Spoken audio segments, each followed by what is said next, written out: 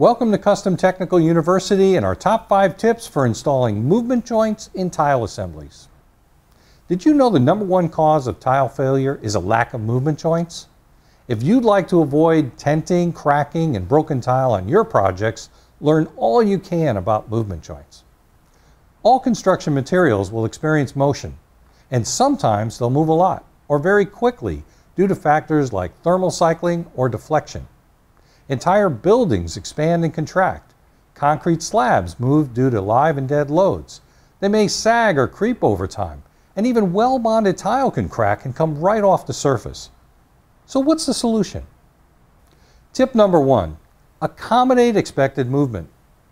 Tile assembly should be designed to sustain dynamic forces by moving along with them. And in certain conditions, like direct sun or freezing and thawing, the tiles themselves will actually be in motion. For example, in a 90 foot span of a dark tile, up to 8 inches of movement can take place on a hot sunny day. So soft, flexible joints within the tile assembly will help accommodate this inevitable expansion and contraction.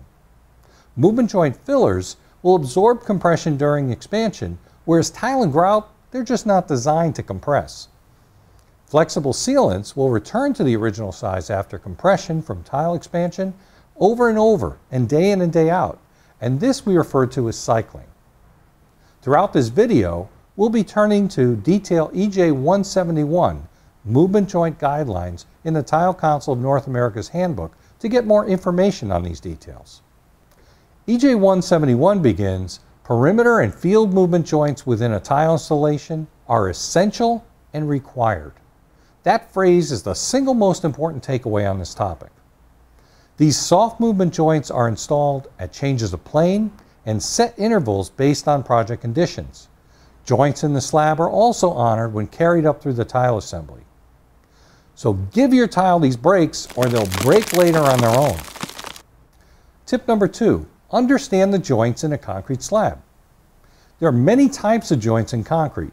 Some are designed to move, Others may or may not move in the future. TCNA recognizes and lists the most common types. You can differentiate and treat them based on their function. For example, a construction or cold joint is formed between placements of concrete during the pour. Control, contraction, or saw cut joints, they're added during or shortly after placement, and they help regulate expected cracking during the curing of the slab. Expansion joints, they're created at adjoining parts of the structure and they accommodate anticipated expansion beyond contraction. Isolation joints are located at changes of plane, such as columns, where vertical or differential movement is expected. Joints that are designed to move out of plane should never be covered with any type of floor covering. Tip number three, carry the joints through the tile work.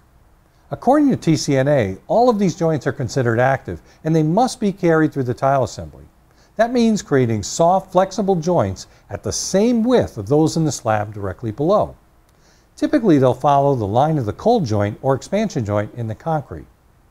For joints that are considered static by the project design team, such as a control joint, material manufacturers may recommend treatment with an ANSI A118.12 crack isolation membrane. In some cases, a sawtooth pattern following a joint in parallel may be allowed along with soft joints. Tip number four, follow TCNA detail EJ171 recommendations. According to these guidelines, movement joint location and details are the responsibility of the design professional or the project engineer.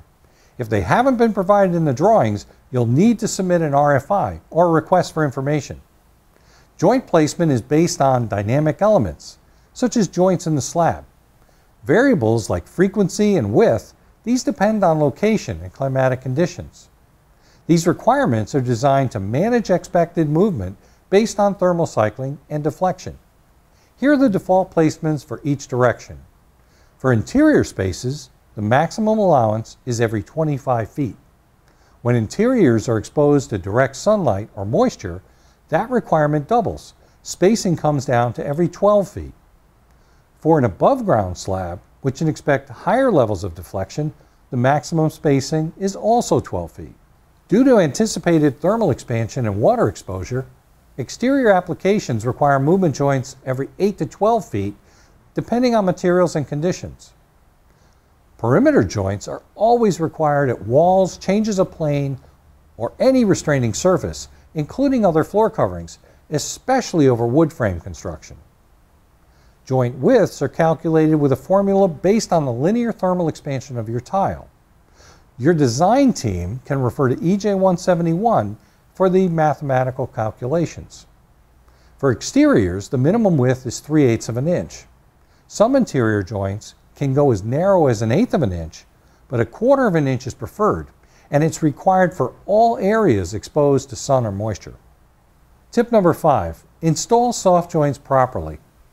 Movement joints can be subtle and complement the tile design. Just use a sealant that's color matched to your grout. And the joint filler needs to remain permanently flexible, so choose a 100% solid silicone sealant that complies with ASTM C920. On commercial projects, the minimum joint width is typically no less than a quarter of an inch, and the ratio of width to depth is 2 to 1. ASTM C1193 details how the joint should be properly filled. One very critical aspect of installation is that the joints need to be completely clear of mortars and grouts prior to using the sealant. It's also helpful to tape the top of the tile on either side of the joint for easy cleanup. Place the compressible backup strip in the bottom of the joint. Then add the sealant above it. The sealant should adhere to the sides of the adjacent tiles, but not to the backer rod or substrate. And it's also acceptable to use a preformed movement joint in lieu of using sealant. Placement of movement joints is crucially important for successful tile installations and to maintain a good reputation for our industry. They are also a requirement of any custom systems warranties.